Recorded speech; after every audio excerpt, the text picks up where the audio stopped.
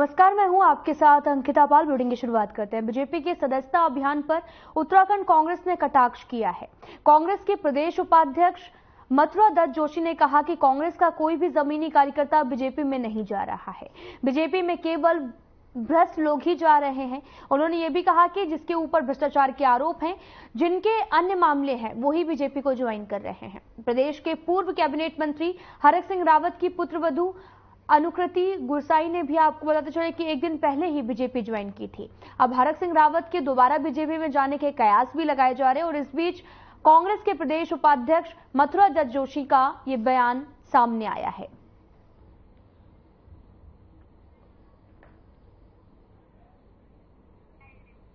आपको बताते चलें कि बीजेपी में केवल भ्रष्ट लोग ही जाते हैं, जिनके ऊपर कोई केस होता है। ऐसा कहना है कि बीजेपी सदस्यता अभियान पर लगातार प्रदेश उपाध्यक्ष मथुरा जज जोशी का बयान सामने आया है, जिसमें उन्होंने कहा कि बीजेपी में केवल भ्रष्ट लोग ही शामिल होते हैं, जिनके ऊपर पहले से कोई केस होता है या फिर कोई मामला दर्ज होता है। उसके बाद में वो बीजेपी को ज्वाइन करते हैं, जिसके बाद सारे दाग धुल जाते हैं। दरअसल आपको बताते चलें कि प्रदेश उपाध्यक्ष मथुरा का बयान भी सामने आया, जिसमें उन्होंने बीजेपी ज्वाइन करने वालों पर कटाक्ष किया है।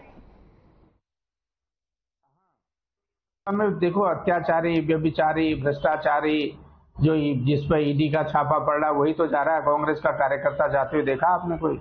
हमारा कोई बूथ का कार्यकर्ता तो गया गया नहीं। जो मूल कांग्रेस का कार्यकर्ता है, वो तो नहीं गया।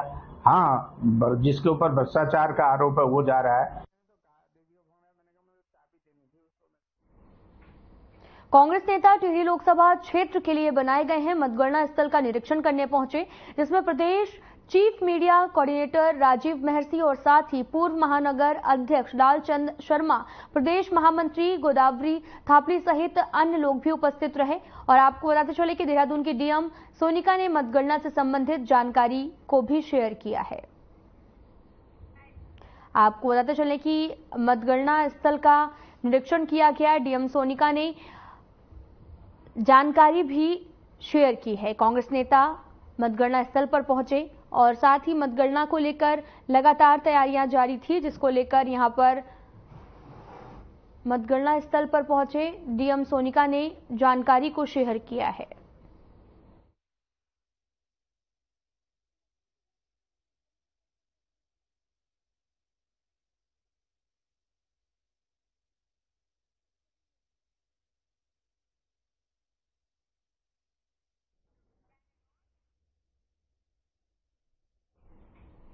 तो बढ़ते आगे लैंसटाउन विधायक महान दिलीप रावत ने सोशल मीडिया पोस्ट पर कांग्रेस पार्टी चुटकी लेते हुए नज़र आ रहे। दरअसल लैंसटाउन विधायक दिलीप रावत ने सोशल मीडिया में पोस्ट को जारी किया और सीएम और साथ ही बीजेपी प्रदेश अध्यक्ष महेंद्र भट्ट को टैग करते हुए कहा कि राम तेरी गंगा मैली अब मैली हो गई है।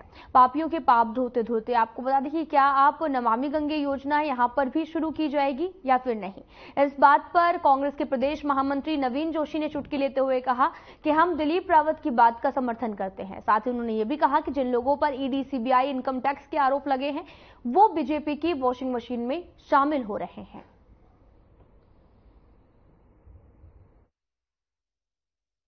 बताते चले कि कांग्रेस पार्टी लगातार बीजेपी पर निशाना साध रही प्रदेश महामंत्री नवीन जोशी लगातार ईडी, सीबीआई के बहाने जमकर निशाना साधा गया। उन्होंने कहा कि जो लोग भी कांग्रेस छोड़कर बीजेपी में शामिल हो रहे कोई भी आरोप है या फिर भ्रष्ट है जिसके बाद में बीजेपी में शामिल होने के बाद वहाँ की जो वॉशिंग मशीन है, उसमें धुलकर वो साफ़ हो जाएँगे। ईडी, सीबीआई उन पर मामले दर्ज नहीं करेगी। देखिए भारतीय जनता पार्टी के जो विधायक हैं दिलीप रावत जी, उन्होंने जो बात कही उसका हम समर्थन करते हैं। क्योंकि भारतीय जनता पार्टी जो वॉशिंग मशीन है, जिन पे दुनिया भर के आरोप लगे हैं ईडी सीबीआई और दुनिया भर की इंटेलिजेंस जिन नेताओं के पीछे लगी हुई है, वो आज भारतीय जनता पार्टी में समायोजित हो गए। ये कांग्रेस मुक्त, भारत की बात कर रहे थे, अब ये भारतीय जनता पार्टी कांग्रेस युक्त बीजेपी हो गई है। तो उसमें इतने आपराधिक प्रवृत्ति के लोग भारतीय जनता पार्टी के अंदर चले गए हैं, जिससे उनकी गंगा ही पूरी मैली हो गई है। अब इसका जो आपने हसर देखा, चुनाव वाले दिन इनके बस्ते लगाने वाले नज़र नहीं आए। अगर जिस प्रकार से हमको चुनाव वॉर रूम में लोगों की सूचनाएँ मिल रही थी कि उनके बस्ते कहीं नज़र नहीं आए। खुद इनके नेताओं ने कहा कि जो इनके पन्ना प्रमुख हैं, वो फ़ील्ड में नहीं नज़र आए। वो सिर्फ़ सेल्फी लेने तक सीमित हो गए जिस प्रकार से भारतीय जनता पार्टी के नेताओं के ये बयान आ रहे हैं, उससे स्पष्ट है कि जनता का रुख किस ओर है।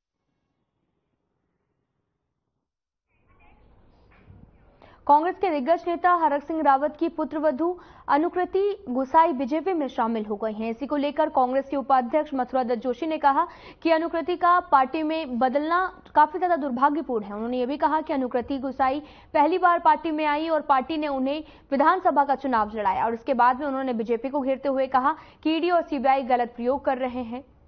और कांग्रेस पर पलटवार करते हुए कहा कि बीजेपी के धर्मपुर विधायक विनोद चमोली ने यह भी कहा कि ईडी हो या सीबीआई, उनका अपना काम जारी है।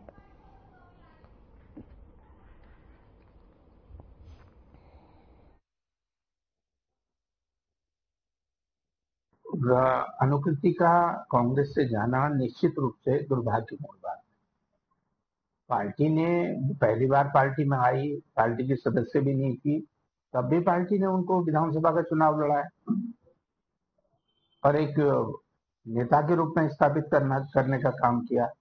आज अगर ये लोग इस तरह जैसे ईडी के डर से या सीबीआई के डर से या अपने गलत कामों को पर्दा डालने के डर से पर्दा डालने के लिए सत्ता का उपयोग कर रहे हैं तो निश्चित रूप से ये सोचने की बात है। और इसमें भारतीय जनता पार्टी के आ, को भी सोचना पड़ेगा। कि वो किस तरह के भ्रष्टाचारियों को, बलात्कारियों को व्यवचारियों को अपना सदस्य बना रही दूसरी वीडियो भी जा रही है। देखिए, वो समय का इंतज़ार करें। ईडी हो या सीबीआई, उनका अपना काम जारी है। वो कानूनी एक प्रक्रिया है। वो अपनी जाँच कर रहे हैं। उसका उनके ज्वाइनिंग करने न करने पर कोई फ़र्क नहीं पड़ने वाला है। उन्होंने पार्टी ज्वाइन की है। पार्टी वो चुनाव लड़ी थी नहीं तो उनसे, वहाँ पर कांग्रेस की प्रत्याशी रही थी। स्वाभाविक बात है, उनका भाजपा में आने से कांग्रेस को सेटबैक लगा है। इसलिए वो इस तरह की बातें कर रहे हैं, लेकिन सीबीआई है, ईडी है, एक कानूनी प्रक्रिया है, वो अपनी जाँच प्रक्रिया आगे बढ़ा रहे हैं, वो अपना काम करेंगे।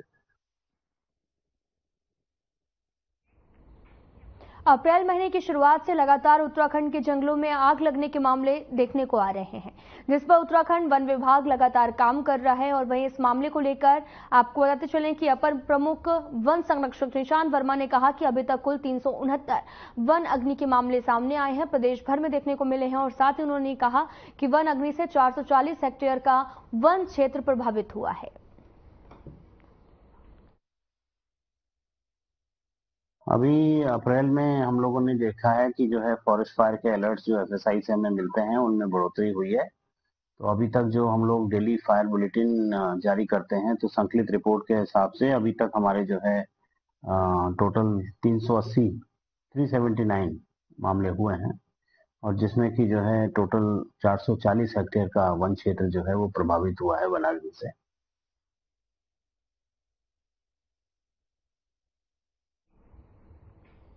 मौसम विभाग ने एक बार फिर से पूरे प्रदेश भर के लिए पूर्वानुमान जारी किया है और मौसम विभाग के मुताबिक आने वाले एक से दो दिनों तक प्रदेश के अधिकांश हिस्सों में बारिश देखने को मिल सकती है। वहीं मैदानी इलाकों में भी कहीं कहीं बारिश के साथ में मौसम सामान्य बना रहेगा। साथ ही आपको बताते चलें कि मौसम विभाग के निर्देशक विक्रम सिंह ने यह भी कहा कि 23 और 24 अप्रैल को प्रदेश के पहाड़ी जिलों जैसे कि उत्तरकाशी, चमोली, पिथौरागढ़, रुद्रप्रयाग, बागेश्वर आदि क्षेत्रों में हल्की बारिश की संभावना भी है। हालाँकि मैदानी इलाकों में मौसम सामान्य बना रहेगा और साथ ही आगामी कुछ दिनों तक मैदानी इलाकों में तापमान बढ़ने का अंदेशा मौसम विभाग ने जताया है। सत्ताईस अप्रैल से एक बार फिर से पश्चिमी विक्षोभ सक्रिय होने के भी आसार नज़र आ रहे हैं।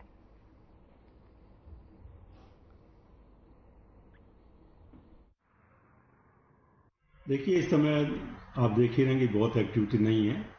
आज और कल की अगर बात कर लें, आज आपकी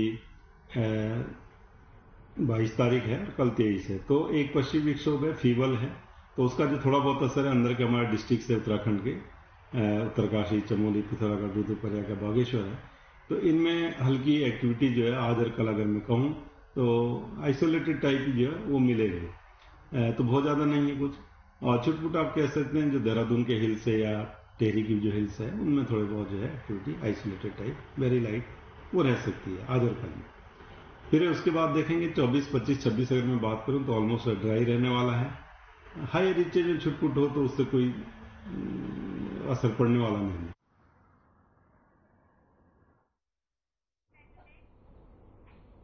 ऋषिकेश में एम्स में आयोजित होने वाले दीक्षांत समारोह की सभी तैयारियाँ पूरी कर ली गई हैं।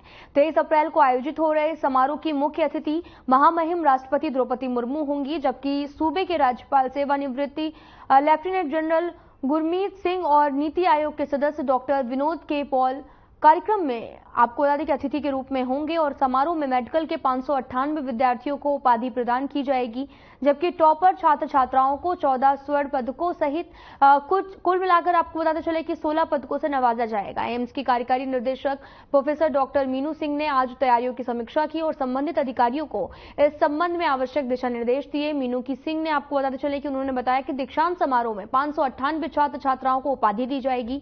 उपाधि पाने वाले छात्र छात्राओं में से दस टॉपर का चयन गोल्ड मेडल के लिए भी हुआ है और इनमें से भी कुछ टॉपर एक से अधिक गोल्ड मेडल से नवाजे जाएँगे। आपको बताते चले कि एम्स ऋषिकेश में दीक्षांत समारोह का आयोजन किया गया, जहाँ पर सभी तैयारियाँ पूरी भी कर ली गई हैं। दरअसल आपको बताते चले कि 23 अप्रैल को यहाँ पर कार्यक्रम होना है, जिसको लेकर लगातार तैयारियाँ जारी हैं। दरअसल एम्स ऋषिकेश में दीक्षांत समारोह का आयोजन किया जा रहा, जहाँ पर सभी तैयारियाँ लगभग पूरी हो चुकी हैं। और साथ ही 23 अप्रैल को यहाँ पर कार्यक्रम का आयोजन होना है। All India institute of medical science Rishikesh में आपको बताते चलें कि कार्यक्रम का आयोजन किया जाना है। राष्ट्रपति के कार्यक्रम को लेकर पौड़ी पुलिस ने ट्रैफ़िक प्लान को लागू कर दिया है। एम्स के दीक्षांत समारोह में देश की महामहिम राष्ट्रपति द्रौपदी मुर्मू शामिल होने आ रही हैं और राष्ट्रपति आपको बताते चले कि क्षेत्र के परमात्म निकेतन गंगा घाट पर माँ गंगा की भव्य आरती भी करेंगी। राष्ट्रपति के कार्यक्रम को लेकर पौड़ी पुलिस ने ट्रैफ़िक प्लान भी लागू किया है। ट्रैफ़िक प्लान के तहत में तेईस अप्रैल को शाम चार से रात आठ बजे तक परमात्म निकेतन घाट आम नागरिकों के लिए प्रतिबंधित रहेंगे।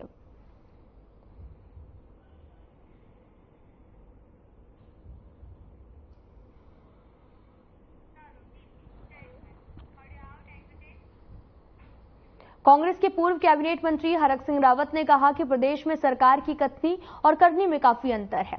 साथ ही आपको बताते चले, उन्होंने ये भी कहा कि अंकिता भंडारी हत्याकांड को लेकर सरकार ने कई वादे किए थे, लेकिन धरातल पर कोई भी काम अभी तक दिखाई नहीं दे रहा है।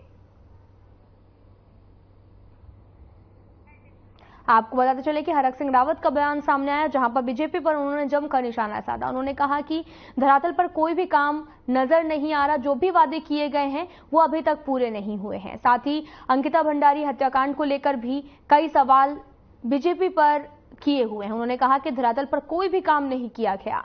आपको बताते चले कि हरक सिंह रावत का बयान सामने आया, जहाँ पर अंकिता भंडारी हत्याकांड को लेकर भी मसला उठाया है।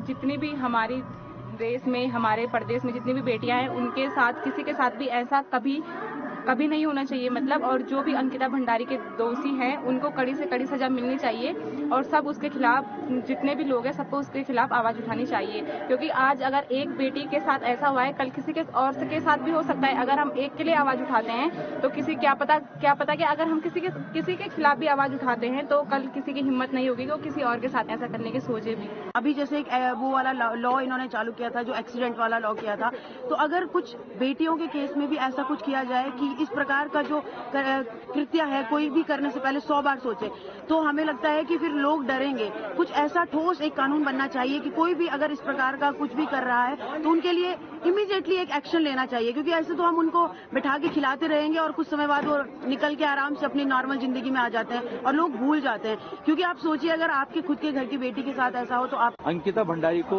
न्याय मिलना चाहिए और मिलना चाहिए था और इसमें जो है उत्तराखंड की सम्रान जनता को जो एकत्रित होना चाहिए था, इसमें जो है कोई कांग्रेस नहीं, कोई भाजपा नहीं, कोई यूकेडी नहीं, कोई दल नहीं है। सभी दल को जो इसका समर्थन करना चाहिए था, इस वजह से करना चाहिए था। आखिर ये पता तो पड़े कि जो है, जिन्होंने ये कृतज्ञ जो है कुकृत्य जो है अंकिता भंडारी के साथ किया, उन लोगों के बारे में पता तो चले वो लोग थे कौन? और वो जो है किन कहाँ तक उनके तार जुड़े हुए थे? किन लोगों से उनके तार जुड़े हुए थे?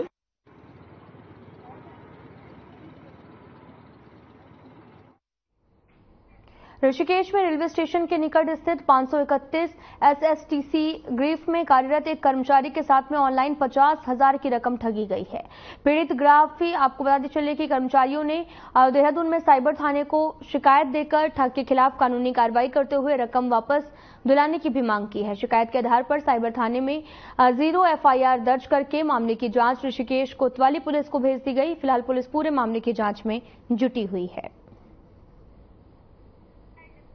आपको बताते चलें कि एसएसटीसी ने ग्रीफ में कार्यरत कर्मचारियों के साथ ठगी का मामला सामने आया, जहाँ पर आपको बताते चले कि ऑनलाइन पचास हज़ार रुपए की ठगी की गई है। दरअसल, लगातार आपको बताते चले कि साइबर क्राइम लगातार बढ़ता जा रहा है, जिसको लेकर ग्रीफ में कार्यरत कर्मचारी के साथ में भी ठगी का मामला सामने आया है, जहाँ पर आपको बताते चले कि ऑनलाइन पचास हज़ार रुपए की ठगी की गई है। पूरा मामला ऋषिकेश का है, जहाँ पर एसएसटीसी ग्रीफ में ठगी का मामला सामने आया है।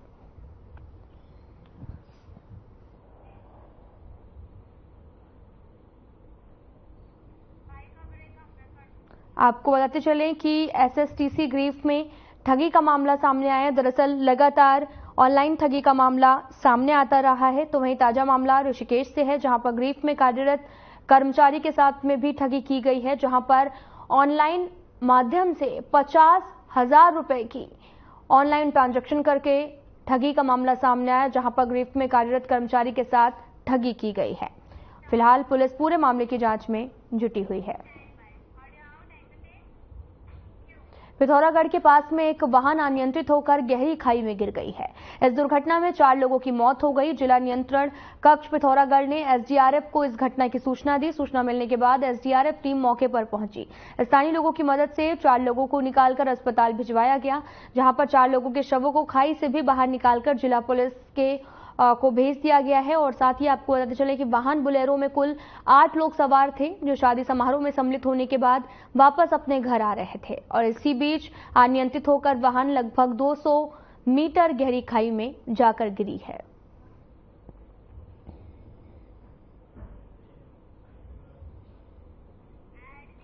आपको बताते चलें कि एसडीआरएफ टीम ने मौके पर पहुंचकर वाहन अनियंत्रित होकर खाई में गिरी है। आपको बताते चलें कि पूरा मामला पिथौरागढ़ का है, जहाँ पर चार लोगों की मौत भी हो गई है। दरअसल एसडीआरएफ टीम भी मौके पर पहुँची और शवों को कब्जे में लेकर पोस्टमार्टम के लिए भिजवा दिया गया है। वाहन अनियंत्रित हो गया, जिसकी वजह से आपको बताते चले कि खाई में गिरने से चार लोगों की मौत हो गई है। एसडीआरएफ टीम भी मौके पर पहुँची और इस पूरे मामले की अब छानबीन लगातार जारी है। दरअसल पूरा मामला पिथौरागढ़ का बताया जा रहा है, जहाँ पर चार लोगों की मौत का मामला सामने आया है। दरअसल आपको बता दें कि दुर्घटना में चार लोगों की मौत हो गई है, जिनके शव को कब्जे में लेकर पोस्टमार्टम के लिए भेज दिया गया है। लोकतंत्र के इस महापर्व पर जहाँ मतदाता मतदान को लेकर काफ़ी उत्साह देखने को मिल रहा तो वहीं दूसरी ओर एक हैरान करने वाला मामला भी सामने आया। उधम सिंह नगर जनपद के गदरपुर विधानसभा अंतर्गत स्थित राजकीय प्राथमिक विद्यालय अर्जुनपुर के ग्रामीणों ने सड़क निर्माण की मांग को लेकर मतदान का बहिष्कार किया है। आपको बताते चलें कि 1218 मतदाताओं में महज 28 लोगों द्वारा अपने मत का प्रयोग किया गया, जो अपने आप में तमाम तरह के सवालिया निशान खड़े कर रहे हैं।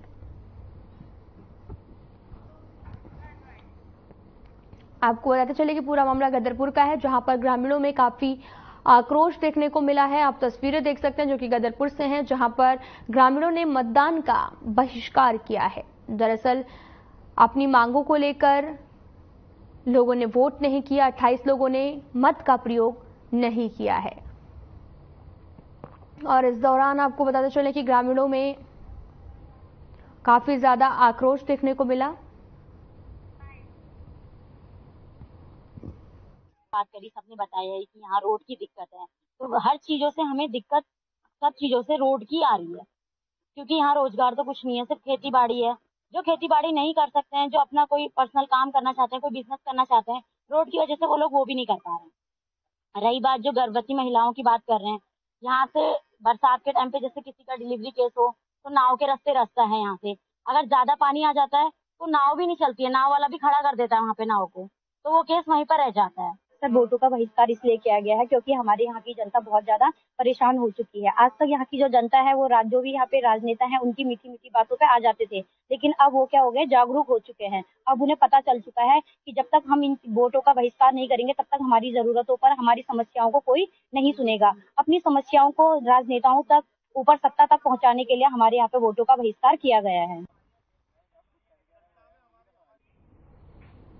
लोकसभा चुनाव के पहले चरण के मतदान के बाद भी कांग्रेस नेता पार्टी छोड़कर बीजेपी में शामिल हो रहे हैं।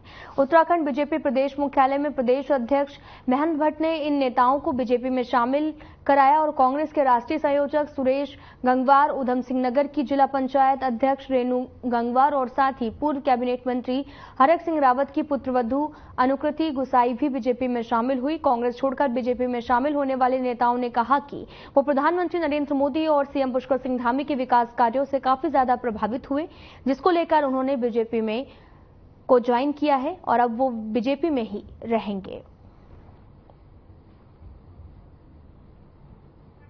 आपको बताते चलें कि कांग्रेस पार्टी को लगातार एक एक कर झटका लग रहा है। दरअसल कांग्रेस छोड़कर बीजेपी में कई नेता शामिल हो रहे हैं। और ताज़ा आप भी तस्वीरें देख सकते हैं जहाँ पर कांग्रेस को एक और बड़ा झटका लगा, जहाँ पर बीजेपी में कांग्रेस के कई नेता शामिल हुए हैं।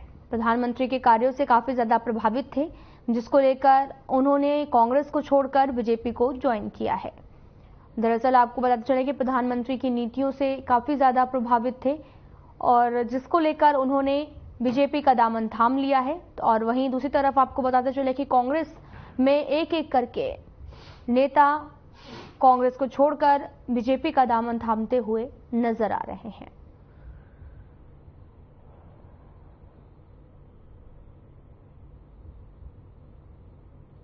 आपको बताते चले कि प्रधानमंत्री नरेंद्र मोदी के कार्यों से काफ़ी ज़्यादा प्रभावित थे, जिसको लेकर उन्होंने बीजेपी का दामन थाम लिया है। पार्टी ट्रेनिंग अभी खत्म नहीं हुई है। भारतीय जनता पार्टी बड़ा परिवार है और कांग्रेस मुक्त भारत का जो हमारा नारा है, उस नारे को अभी पंचायत चुनाव और गति मिलेगी नगर पालिका चुनाव और गति मिलेगी। और सब लोग भारतीय जनता पार्टी के अपना सहयोग देंगे। अनुकृति जी का कल ही मुझे प्रस्ताव प्राप्त हुआ, भारतीय पार्टी ज्वाइन करने का। मैंने भी अपने संबंधित नेतृत्व से बातचीत करने के बाद और फिर मैंने अपनी सहमति दी है। देखिए, मुझे बहुत खुशी है आज कि जो हमारा नेतृत्व है, उसने मुझे अपने परिवार का हिस्सा बनाया है। भारतीय जनता पार्टी को मैंने ज्वाइन किया है। आदरणीय नरेंद्र मोदी जी के कामों से प्रभावित होकर जिस तरीके से एक सपना उन्होंने विकसित उत्तराखंड का देखा है वोकल फॉर लोकल को जिस तरीके से वो पूरे उत्तराखंड में, पूरे देश के अंदर प्रमोट कर रहे हैं, आत्मनिर्भर उत्तराखंड, आत्मनिर्भर भारत बनाने की बात करते हैं, ये सभी चीज़ें मुझे प्रभावित करती है और मुझे उम्मीद है कि जिस तरीके से उन्होंने कहा है कि आने वाला दशक उत्तराखंड का दशक है, मैं उम्मीद करती हूँ कि उत्तराखंड के केंद्र बिंदुओं को वो देखते हुए, समझते हुए उत्तराखंड को विकसित बनाने का काम करेंगे और हम सभी लोग उनके इस महायज्ञ में अपना योगदान देंगे। ट्रेनिंग अभी खत्म नहीं हुई है। भारतीय जनता पार्टी, बड़ा परिवार है और कांग्रेस मुक्त भारत का जो हमारा नारा है, उस नारे को उत्तराखंड बीजेपी के प्रदेश अध्यक्ष महेंद्र भट्ट ने लोकसभा चुनाव में मतदान के लिए मतदाताओं का आभार जताया है। उन्होंने कहा कि बीजेपी का मतदाता अपने आप घरों से निकलकर वोटिंग के लिए निकला। इसके साथ ही उन्होंने कहा कि चुनाव में विपक्ष की कोई भी स्पर्धा नहीं थी, इसलिए भी कम मतदान हुआ है। हालाँकि बीजेपी अध्यक्ष ने कम मतदान के लिए चिंता ज़ाहिर की और इसके लिए चुनाव आयोग को ठोस नीति बनाने और मतदान अनिवार्य करने का भी सुझाव दिया। सबसे बड़ी बात क्या है कि एक तो अब मैं अगर आप, क्योंकि मुझे बोलना पड़ रहा है, शुक्रवार का दिन चुनाव आयोग ने दिया है। सैटरडे, संडे छुट्टी तो सबसे बड़ी बात क्या है कि शुक्रवार को मतदान की, मैंने कहा ना, मतदान कैसे लोगों के हृदय में आवश्यक बने, ये सबसे विचार करनी पड़ती। लगभग 200 शादियाँ 200 शादियों की जानकारी मेरे पास है, मुहूर्त शादी का। ये बहुत से कारण रहे कारण सबसे बड़ी बात क्या है, ये कारण पूरे जहाँ फ़र्स्ट फ़ेज़ का चुनाव हुआ है, केवल उत्तराखंड में पूरे देश के अंदर हुआ है, जहाँ फ़र्स्ट चुनाव थे इसलिए इनके कारणों की समीक्षा जहाँ निर्वाचन आयोग करेगा वहाँ हम भी कर रहे हैं।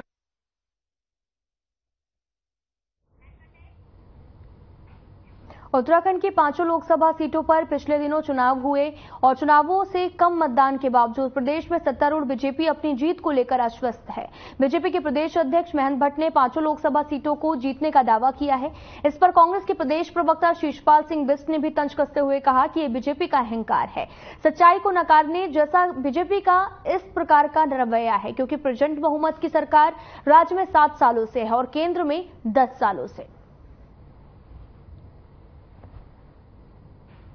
देखिए, भारतीय जनता पार्टी का ओवर कॉन्फिडेंस है, सत्ता का अहंकार है और सच्चाई को नकारने जैसा भाजपा का इस प्रकार का रवैया है, क्योंकि प्रचंड बहुमत की सरकार राज्य में सात सालों से, दस सालों से केंद्र में है। जनहित के कोई काम हुए नहीं, बेरोजगारों को रोज़गार नहीं मिला, बेटियों को सुरक्षा नहीं मिली, किसानों की समस्याओं का समाधान नहीं हुआ। उत्तराखंड जैसे सीमावर्ती राज्य में जो है, अग्निवीर योजना का जो है, हर घर में विरोध है। तो निश्चित तौर पर जो है सत्ता विरोधी लहर है, जिसके चलते जो है मतदान कम हुआ है और भाजपा तो चुनाव से पहले बड़े बड़े दावे कर रही थी कि पचहत्तर प्रतिशत मतदान करवाएँगे, पाँच लाख वोटों के अंदर से।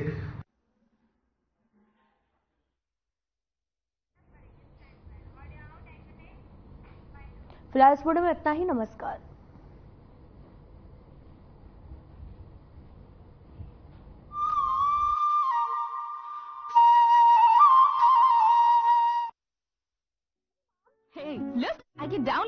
Really fast. I can make